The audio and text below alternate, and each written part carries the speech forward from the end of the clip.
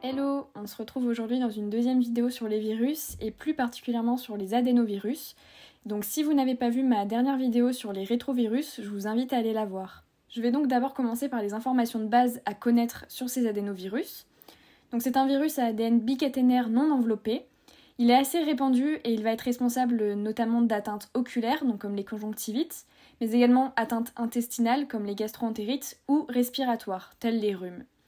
Comme le rétrovirus, il est lui aussi utilisé en thérapie génique. Par contre, l'intégration de son génome va être transitoire. Passons maintenant à la structure. Comme je l'ai dit précédemment, il n'a pas d'enveloppe.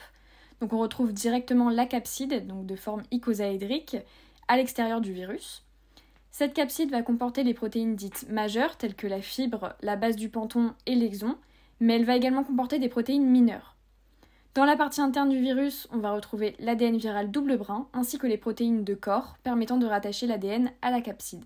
Le cycle de réplication va débuter par l'adsorption. La tête de la fibre, qui se trouve sur l'adénovirus, va reconnaître le récepteur exprimé par la cellule cible. Suite à cette reconnaissance, l'adénovirus va pénétrer par endocytose. La vésicule d'endocytose va par la suite subir une acidification et la décapsitation va pouvoir avoir lieu, ce qui va du coup permettre la libération de l'ADN viral ainsi que des protéines. L'ADN viral va pouvoir rentrer dans le noyau où il va être circularisé par la liaison de ses extrémités ITR.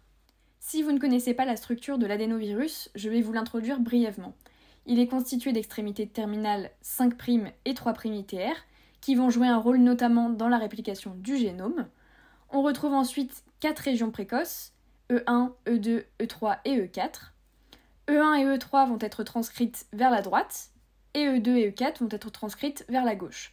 Donc moi perso, j'utilise un moyen mnémotechnique pour ne pas me tromper. Donc vu que 1 et 3 sont des chiffres impairs, ils vont être forcément transcrits ensemble dans le même sens. Et du coup, pareil pour euh, les chiffres 2 et 4 qui sont des chiffres pairs. Enfin, on retrouve MLP qui est le promoteur des gènes tardifs et qui va gérer l'expression des ARN messagers viraux tardifs.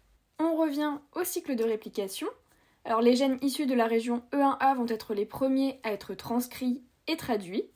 On va par la suite avoir deux phases et la première va correspondre à la phase précoce.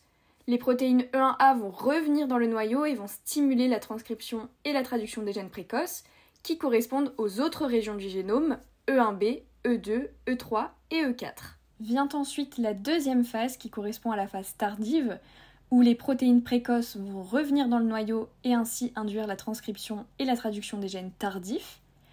Les protéines issues des gènes tardifs vont correspondre aux protéines majeures de la capside. Elles vont pouvoir retourner dans le noyau et ainsi s'assembler avec les autres protéines pour former une nouvelle particule virale. Par la suite, la concentration en protéines lytiques va augmenter et va être responsable de l'apoptose de la cellule, ce qui va permettre à la nouvelle particule virale d'être libérée et d'aller infecter d'autres cellules. Merci d'avoir regardé la vidéo et surtout n'hésitez pas à me laisser un commentaire euh, si vous avez des questions ou des suggestions.